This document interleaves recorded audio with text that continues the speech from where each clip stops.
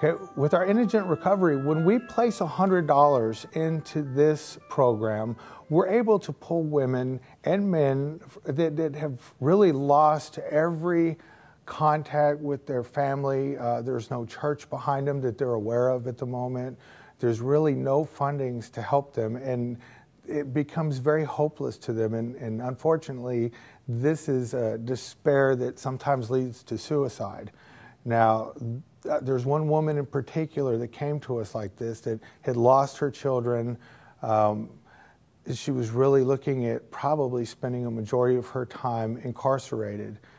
She came to us, she utilized everything we had to offer.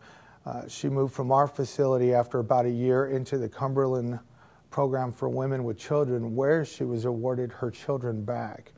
Uh, she is working, she's been sober for a couple of years now and these kids have their happy mother and a safe house that, that they deserve.